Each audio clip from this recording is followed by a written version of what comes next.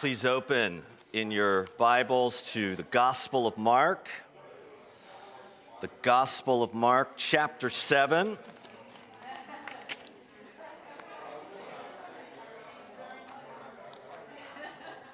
Sorry.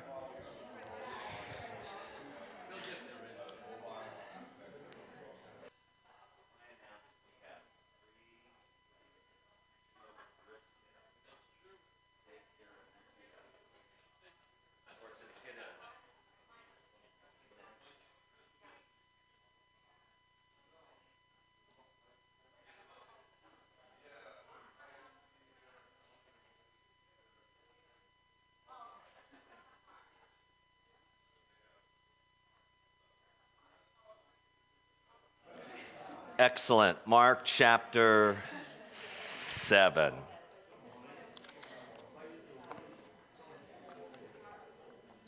So, for any of guests that might be joining us on the stream, good morning, happy Thanksgiving. I hope you and your family or extended family have a delightful holiday celebration together, and that you, like me, are nowhere near uh, the malls or shopping uh, centers uh, this Friday.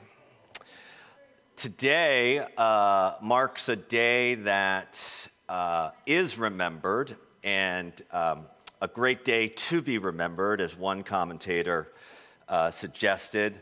Um, and that is today marks the 159th anniversary of the Gettysburg Address, when the cemetery for those soldiers who had fallen during the battle of Gettysburg, that cemetery, that national cemetery, was commemorated by our 16th president, President Lincoln, uh, and, um, and done so with a remarkable uh, speech that is arguably, if not the greatest speech given by an American uh, president, one of the greatest but it's only 272 words long, meaning it can be recited in less than two minutes. In fact, because I am a history teacher, for extra credit, as we head into tests for my US history students, I have them memorize portions of speeches, and they have a major test this Tuesday. Someone might be watching,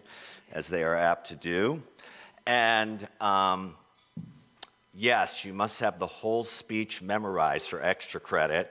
Uh, but it's worth 10 bonus points. And you know this about teenagers. They can be more anxious and concerned about bonus points on the test than what's on the actual test. And as long as they get the bonus points, they feel like it is a.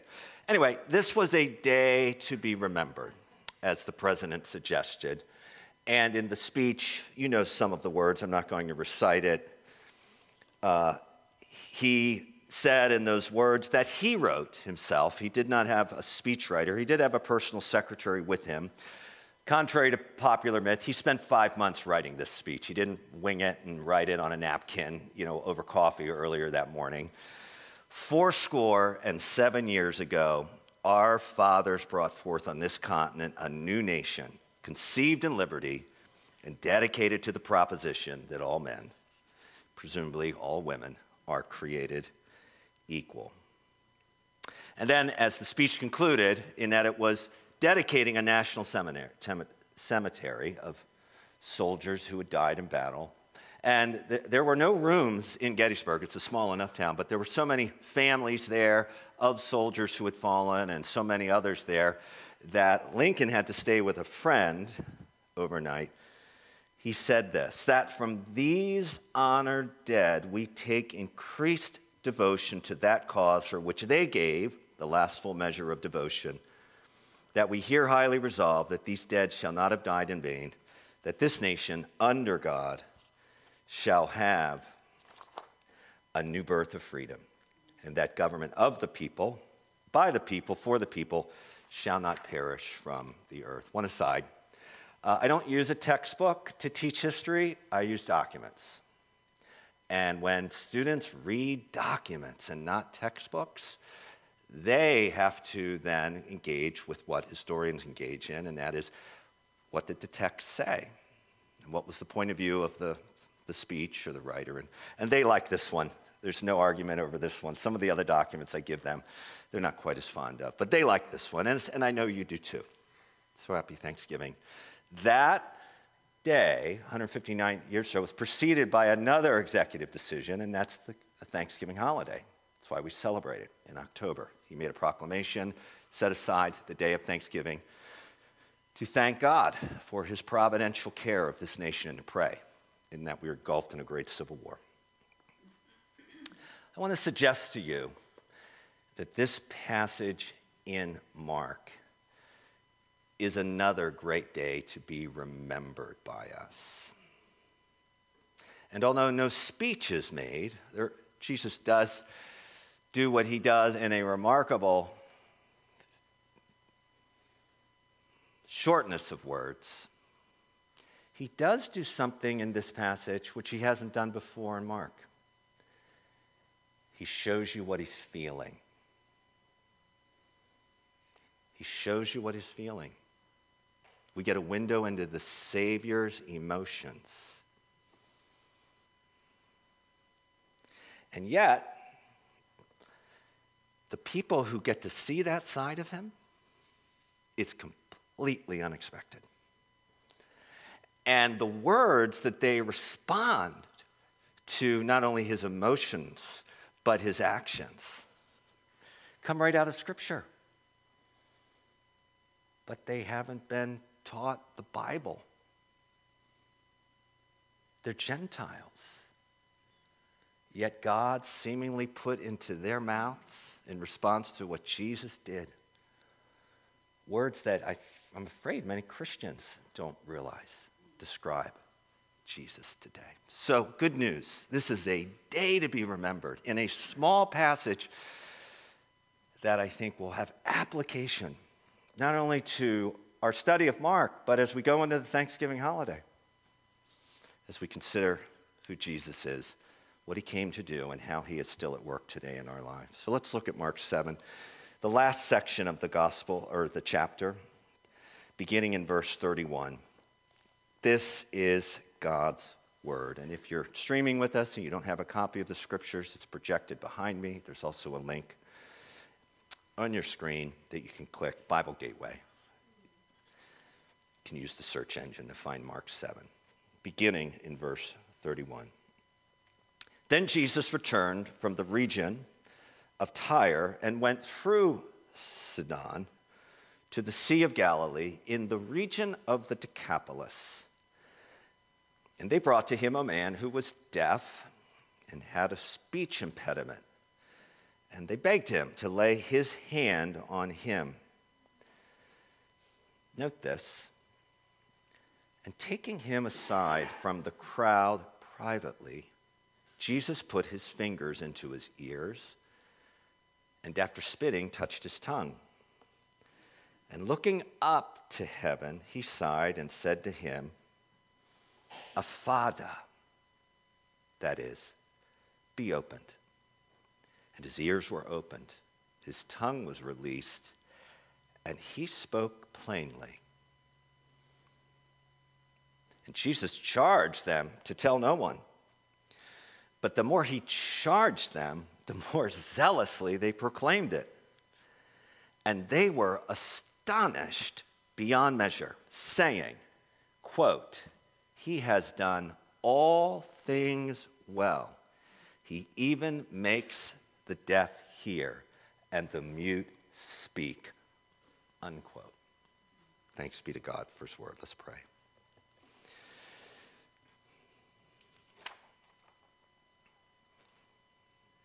Father, thank you for this episode in Mark's gospel and in the few moments that remain. We pray now, gather, gather our thoughts before this text. Show us Jesus. If he is familiar, deepen our perception of him. And if this is an unfamiliar passage, open our eyes and open our ears, open our hearts to hear and receive and listen to Him, respond to Him. and make this, make this passage, make this day, this Sunday in November, a great day to be remembered. Because, Father, you glorified your Son. Spirit, you, you, you, brought attention of the Son's actions and activities, not only in Scripture, but in our lives. That we might, that we might not only believe in Him, but we would follow Him and do the things He has called and commanded us to do. We pray this in Jesus' name. Amen. Just can't leave the Lincoln Gettysburg Address for one more comment. It has nothing to do with the message. I didn't realize that Lincoln spoke following a two hour speech by a man from Massachusetts, Edward Everett. Governor Edward Everett of Massachusetts, president of Harvard, pastor of a Unitarian church, pastor of a Unitarian church, not quite so excited about that. Edward Everett he was the most sought after speaker of his day. He was retired and doing speaking tours. But he said to Lincoln at the end of the speech, after having opined for two hours, Everett said to Lincoln, I should be glad if I could flatter myself that I came as near to the central idea of this occasion in two hours as you did in two minutes. May God grant me grace to say in a few minutes what Jesus says so plainly here about himself.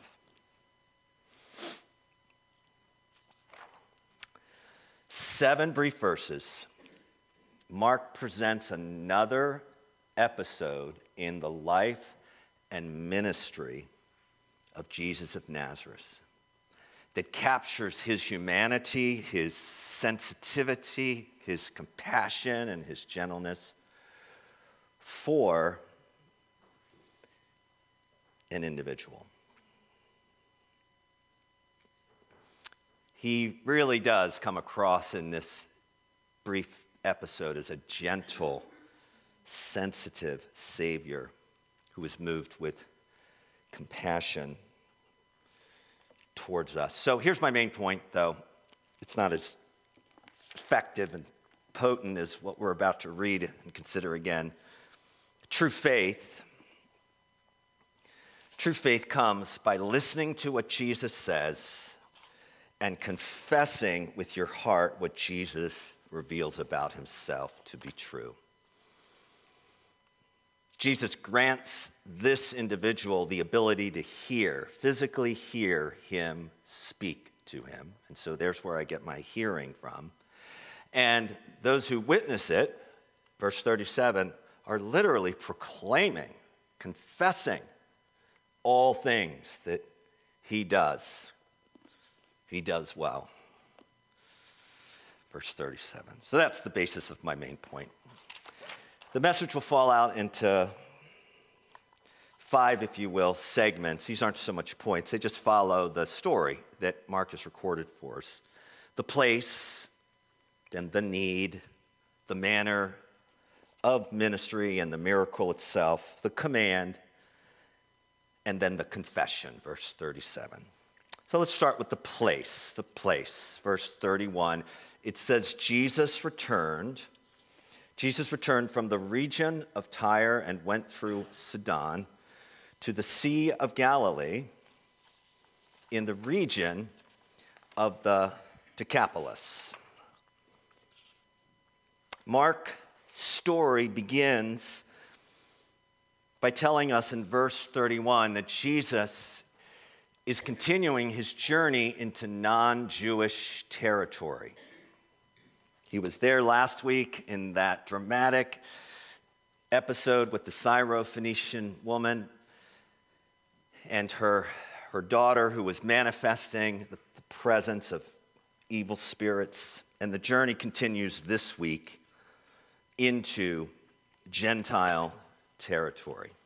He's deep in Gentile territory. In fact, I think in, in this gospel and maybe in the gospels, it's the only time Jesus leaves, leaves, if you will, the borders and boundaries of the Jewish nation and, and is in non Jewish territory. So it is a surprising statement to Mark's readers, I'm sure, as they read this, that Jesus is journeying as he is. So it's a journey filled with significance for us. But perhaps more significant than the place is the need. Because the need that we are focused on in verse 32 is the need of an individual, a man who is deaf and has a speech impediment. Literally, he's mute. You see that projected, verse 32 above me. And they brought to him a man who was deaf and had a speech impairment. And they, his friends who brought him to Jesus, begged him to lay his hands on him, presumably to pray for him, to minister to him. One of the scholars that Dave, Dan, and I have consulted in this study is a gentleman named Peter Bolt, and he wrote a, a work in called The Cross of the Distance atonement in Mark's gospel. And he made the following observation about this story in light of how Mark presents the life and ministry of Jesus. And Jim, this is quote number one. I'm going to read the whole quote because he, he highlighted something that no one to my knowledge drew, drew my attention to, and I think it's, I think it's significant. Throughout Mark's story, if you'll read along with me, a range of characters appear in the story encounter Jesus, and then disappear again. From among these minor characters, a group of 13 can be separated out and be labeled the suppliants, meaning those who come to Jesus and they have a great need.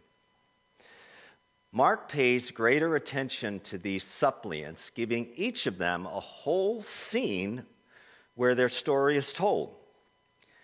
These are the one who come to Jesus with a need, a need for healing or deliverance, which Jesus meets. And this group of 13 shows us a slice of life in the first century world. Despite their variety, together they illustrate a world in great need, a world under the shadow of death.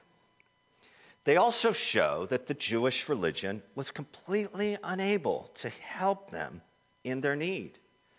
In fact, it probably even made their situation worse by excluding them as unclean and so making God seem even further away. Dr. Bolt, a Markan scholar, is telling us that in Mark's gospel there are no less than 13 of these episodes that focus on individuals. I'm all about Jesus making his identity known to the crowd, like when he feeds the 4,000 or feeds the 5,000. I, I love those scenes. But Mark's gospel, as an emphasis, seems to draw more attention to Jesus' interaction with an individual. And why am I telling you that? That, that's good news to me. Thank you. And that's good news to you. Because that means this Thanksgiving, this Thanksgiving, your Thanksgiving, my Thanksgiving table, or if someone's not there at the table, Jesus, Jesus is pursuing an individual. Are you aware of that? He's into Decapolis. He's not in the temple. He's in the region of the unclean, according to the religious authorities. He's not in church.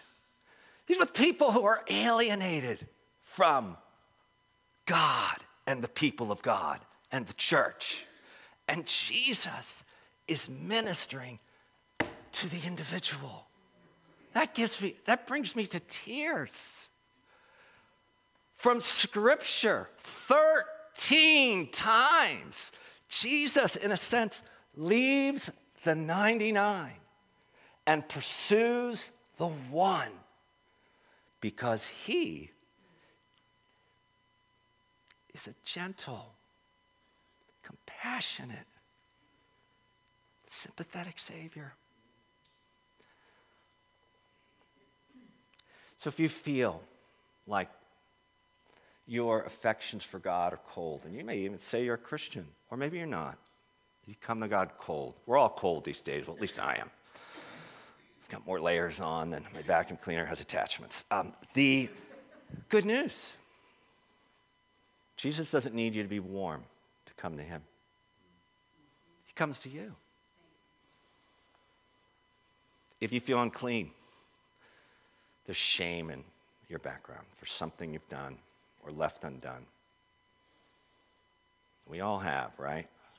We all have skeletons, and we all deal with them differently. Good news Jesus comes to you. According to Scripture, here, he already knows all my skeletons. He comes to me, not to scold me, but to love me, to reveal himself to me, to offer me a way of escape from those skeletons, if you will. But nonetheless, he's taking the initiative. Amen? If you're a Christian and you are overwhelmed with grief today, overwhelmed, either with your grief or the grief of someone you're caring for, the good news is Jesus is with you and with them too. We can pray that God would open their eyes to see that. Because the Gospel of Mark heralds a Savior who not only cares for individuals, but, but goes and finds them where they are. That's the need. By the way, you know I have hearing loss, but someone who is deaf, like, say, Helen Keller, has said that when you can't see something, you lose connection with objects, like a car or your dog or your play. When you can't see something, you, you lose but when you can't hear something, this is Helen Keller. You can argue with her if you disagree with this. You lose connection with people. And so this deaf individual has lost connection with people. He's isolated. He's lonely. I'm projecting that. He has friends that brought him to Jesus. But hey, lest you can't relate to that, can you imagine, musicians, if today you lost your ability to hear your music? Not just because you're a gifted musician. Can you imagine? Forget, for, that would stink. That's right, Mike McLaren. I'm not sure what you said, but that would stink. That would be horrible, right? All the, all the things that we draw from music, not only during Advent season, but every day, right? It brings, it brings, we've been gifted to enjoy melody. And it speaks, I mean, the psychology is clear. Music speaks that part of our brain where emotion is located. So there's emotion involved with music. I mean, come on. When the Patriots, I know they're not playing well, but still, when they come running out of the tunnel and they play that song, I'm not even a true Patriot fan, I get excited, even though I know what may happen in the next 30 minutes. When, when a song comes on the radio that is associated with a good memory, and I'm driving down the road, of course, I'm a safe driver, so I'm driving between the lines and I'm not driving fast as I'm listening to my favorite song. All of a sudden, this memory comes into of, of where I was when I heard that song or sang that song or had that song performed. And so it also, can you imagine if all that were taken away from you? which makes then what Jesus does for this man new creation. New creation. He's starting something new. The ability to hear and the ability to express himself and what he hears. New creation. We talk a lot about that during Easter. It's called Resurrection Sunday. But Mark is suggesting we need to bring new creation forward and talk about it every Sunday.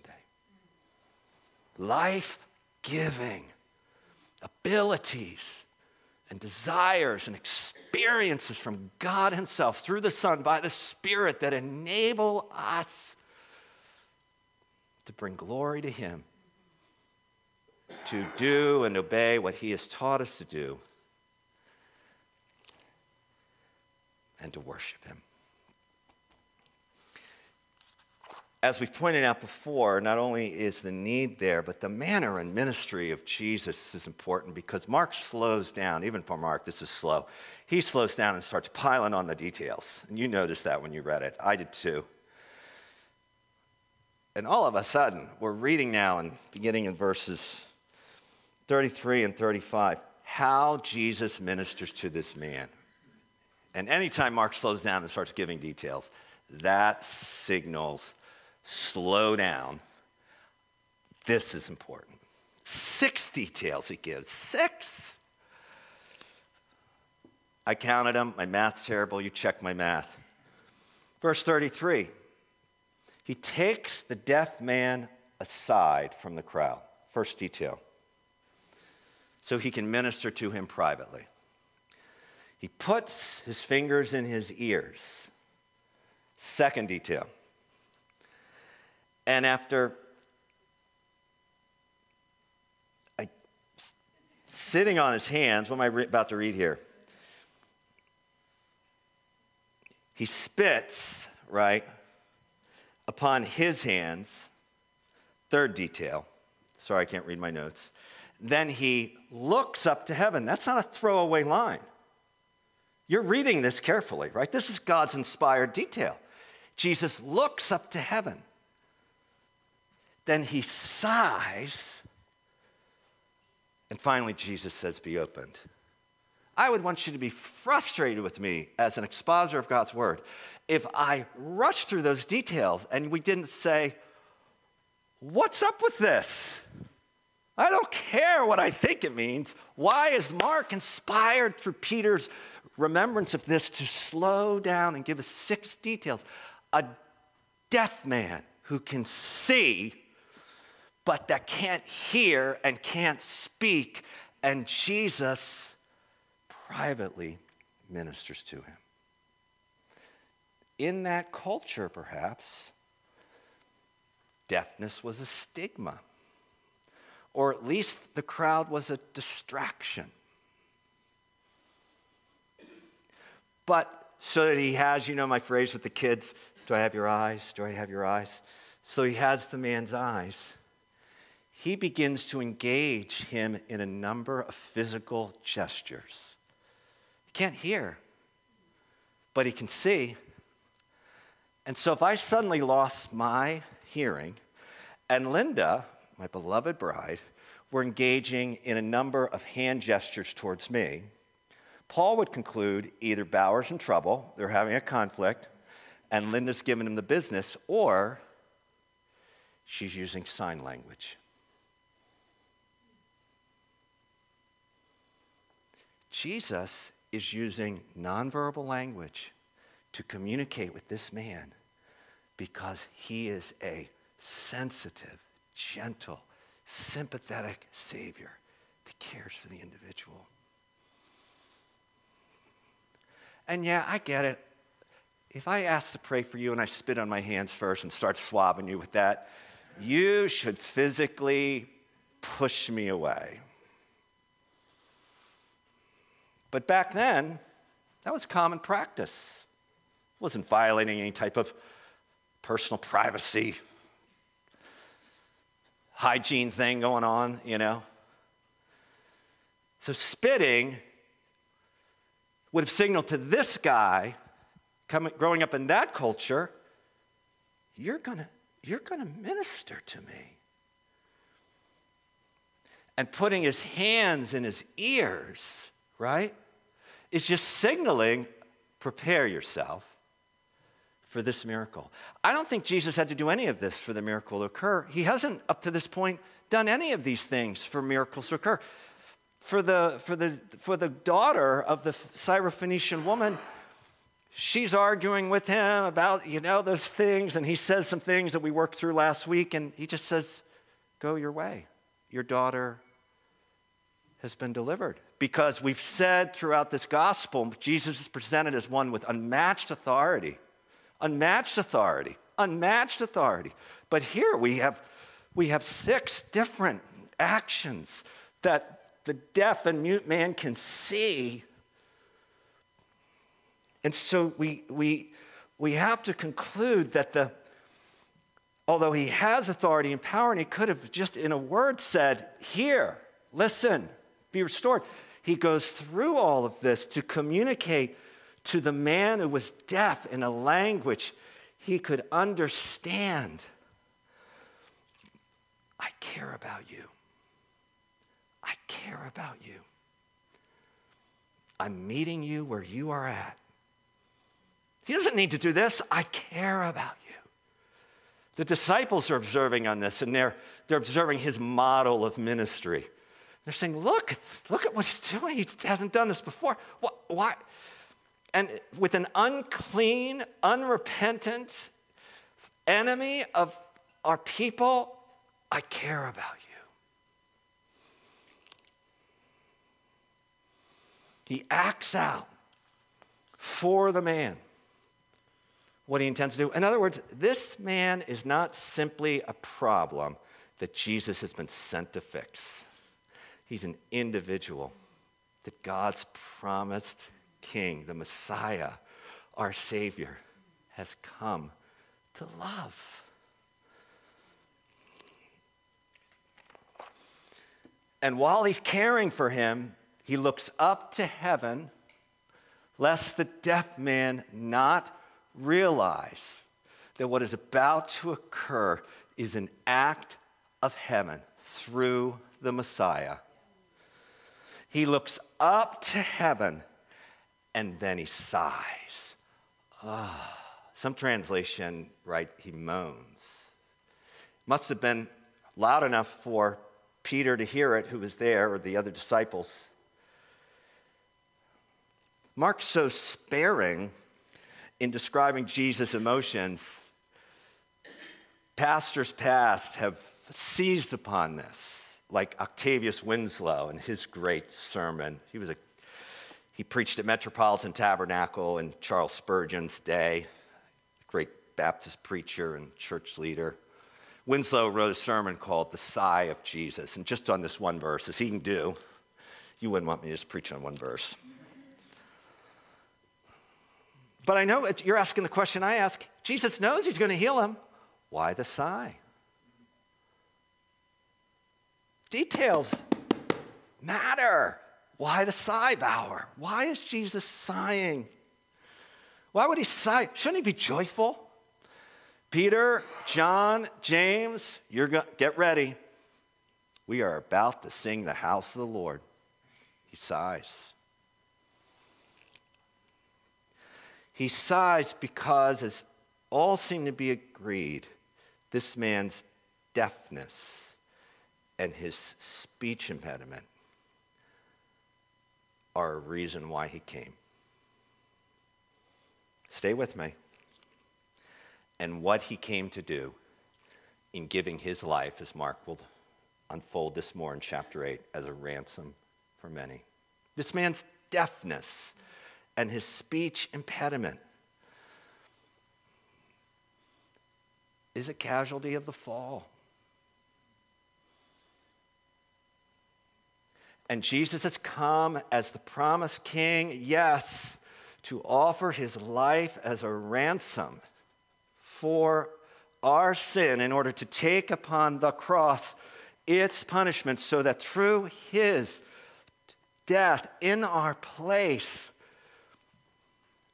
God's judgment against our sin would be finished. Amen? And through his triumphant resurrection, as Paul describes it, new creation begins.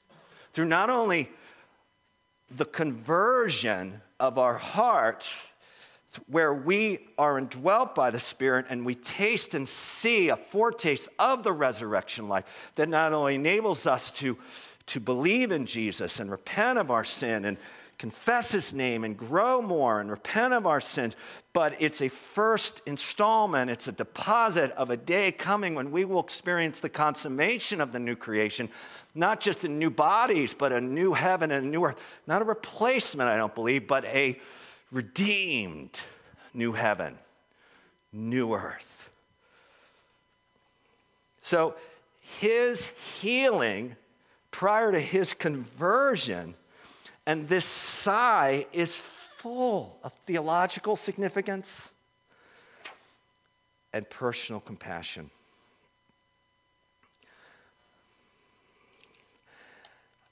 I think why that's good news, because the miracle does occur, is that if you are a Christian this morning, He, spiritually speaking, has opened your ears.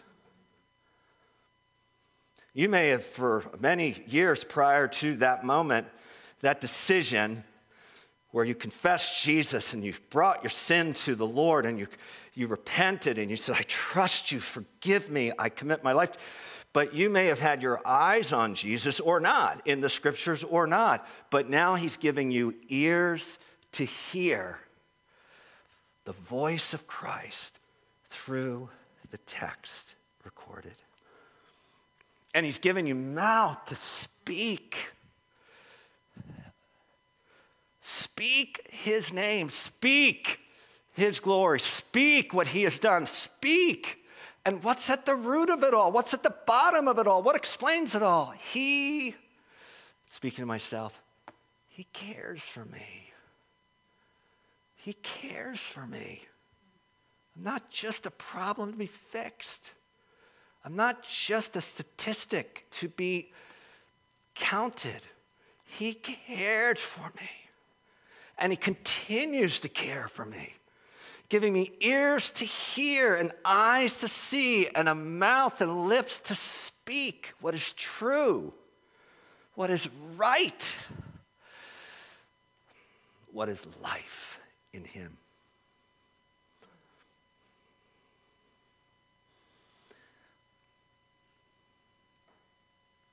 That's His work. Amen?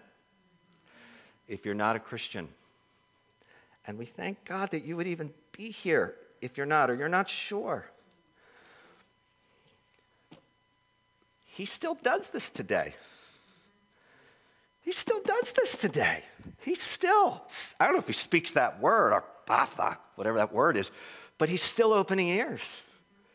He's still granting speech to confess his name and to surrender and repent, he's still opening eyes. He's still the Savior, the sympathetic, compassionate Savior who cares for individuals. Ah, that gives me so much hope for my Thanksgiving dinner. Because I know for many of you, and perhaps us too, not everyone at the table has had their ears opened. And although they may have a speech impediment to praise the Lord, they don't have a speech impediment on other things. Some of them are giving a lot of business about the church. Some of them are telling, telling me what the church needs to do or didn't do. And some of that's true, some is not. Their story is deep, there's hurts, there's, there's all sorts of things. And the details matter. What's Jesus' response to them? Even when they may be angry at us or angry, Jesus sighs. It's not a sigh of criticism, it's not a sigh of judgment, it's a sigh of mercy. Hmm. Are we still sighing? Bow reverence still sighing? Am I still praying? Am I still speaking plainly but speaking gently? Am I still being more like Jesus? Less like the culture, less like my own heart. Well, if I'm not, May the confession of the Gentiles convict you and provoke you as it did me. What do those who witness this miracle? First off, when I get to heaven, I am going to find Mark and say, You didn't give me one detail how the, the deaf and mute man responded. I mean, he must have gone catatonic. New creation, I can hear, I can see. I mean, he must have been like running around giving free gift cards to anyone that would listen to him. I mean, what a story, not a single detail. What's up with that? But the detail he does provide is the unbelieving Gentiles. Verse 37 who confess about Jesus, he has done some things well. Is that what your Bible says?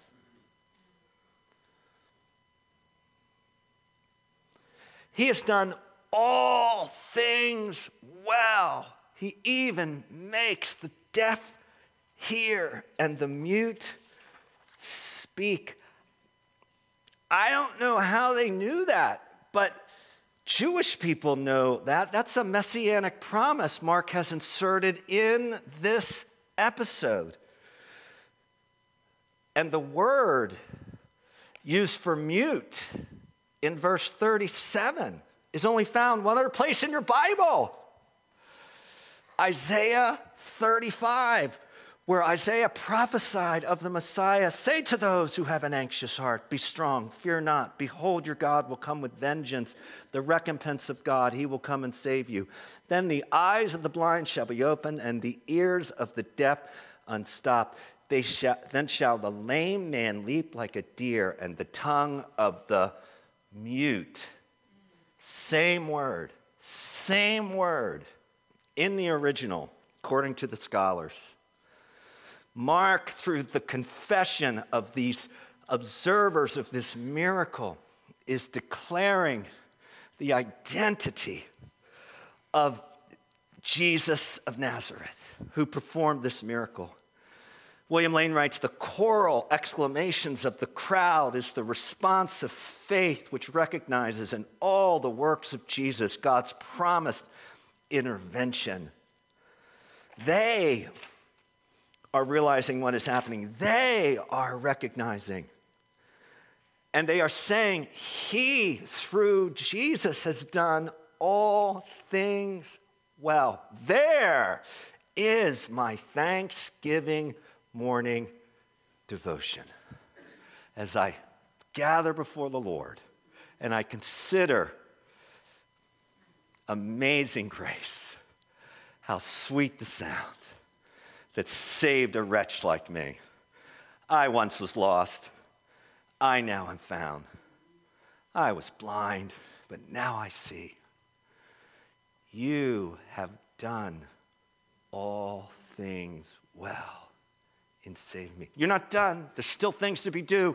There's still many bad things going on in the world. There's still brokenness. There's still, there's still, but you, Jesus, are and have and will.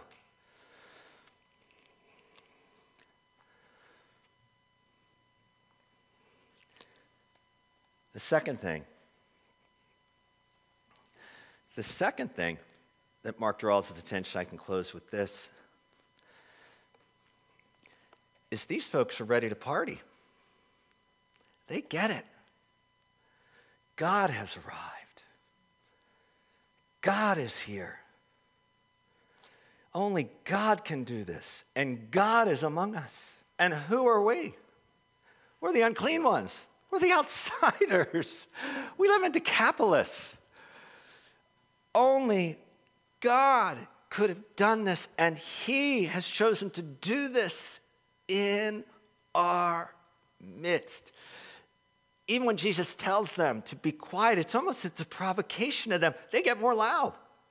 It's like when you tell your kids, I don't know, when they were young, I don't know, we had this issue to chew with their mouth closed and not speak with their mouth with food in it. They would chew with their mouth open and speak with, you know, that was sort of their provocation. Jesus says, Don't say anything. And they just get louder and louder and louder and louder because they have become convinced. This miracle points to the Messiah, God's humble King. This Savior is a gentle, compassionate Savior who has compassion on the individual. And this gospel gives spiritual hearing and spiritual sight and spiritual speech because of his death and resurrection for the forgiveness of our sins.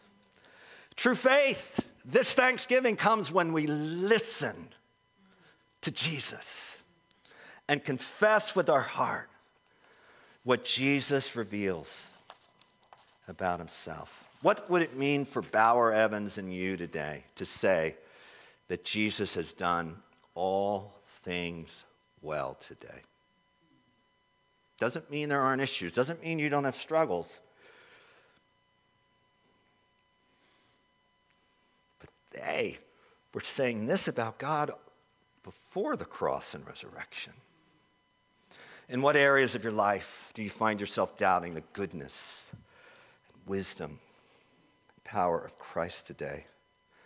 Since trusting and following Jesus will always be a matter of the heart, quoting Romans 2, how does the kindness of God revealed to us in Christ lead me and you to turn to Him afresh and trust in Him and obey what He commands?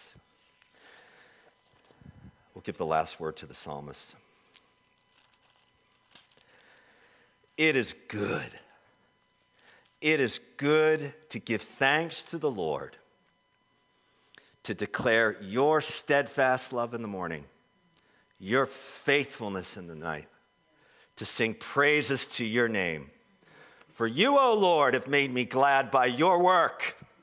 At the works of your hands, I can sing for joy. Thanks be to God for this day.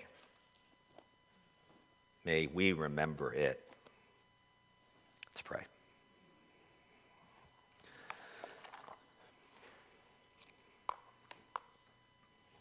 What a day in the life of this nameless individual. Yet a day, no doubt, he never forgot.